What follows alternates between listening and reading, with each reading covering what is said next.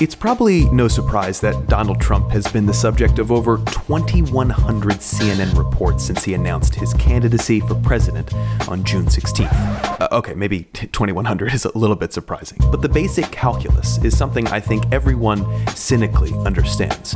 Trump gets ratings, the news carries Trump. A little less obvious is that Trump's high poll numbers are actually a result of his outsized coverage in the media.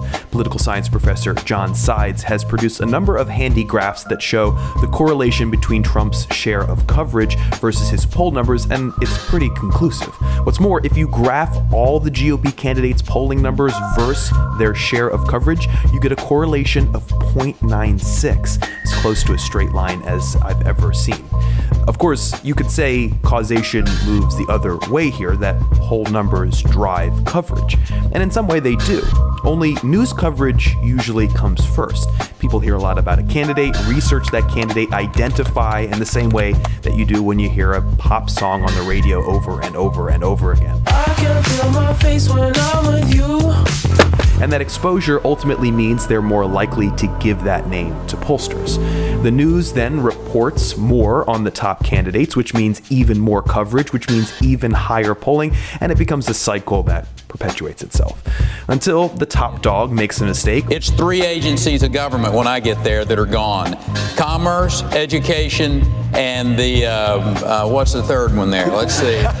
or a new, fresh face steals some attention away. I think women all over this country heard very clearly what Mr. Trump said. And the problem is that Trump's mistakes are often so inflammatory and newsmaking that they work to his advantage, and new, fresh faces are the ones that Trump attacks the hardest. If you listen to her for more than five minutes straight, you get a headache. 2,100 news stories later, and here we are. We know why the news works like this. Less ratings mean less ad revenue, means less profit, means lower stock prices, means fewer investors, means layoffs. You're fired. In America, indeed in the global economy, everything always has to grow.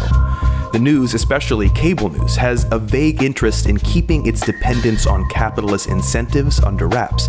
Even though everyone knows that ratings, to a large part, determine the news, news organizations have to tout their journalistic integrity, even if it's only a formality.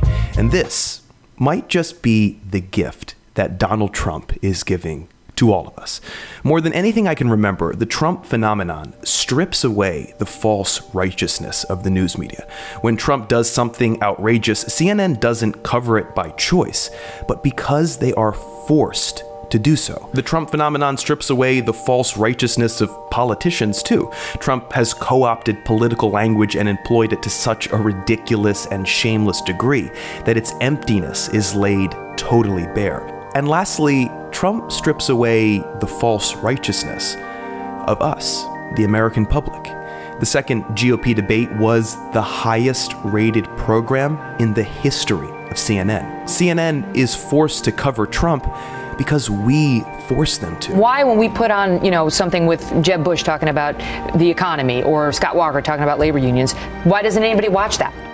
It's in our nature to gravitate toward confirmation bias and sensationalism. It takes a force of will to consume media that may be boring but crucial for making intelligent political choices.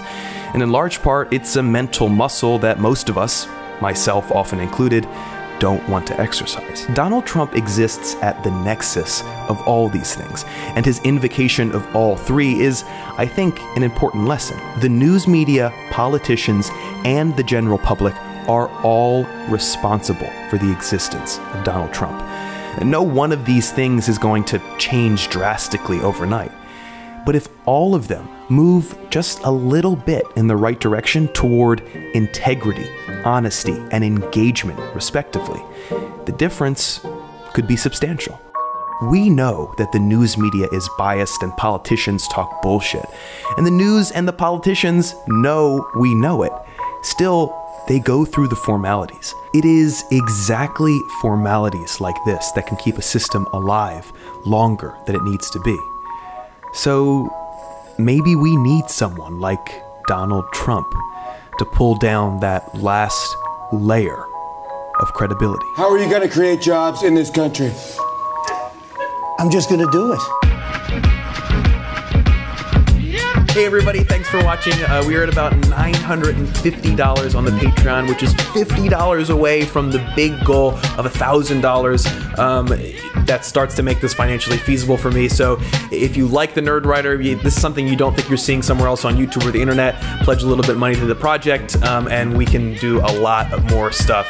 Um, there's no more stickers or mugs left, but I want to order some more swag, maybe some more mugs. Uh, but I'd like to hear what you would like of Nerdwriter swag in that universe. So let me know in the comments, um, and we'll we'll get some and put them up.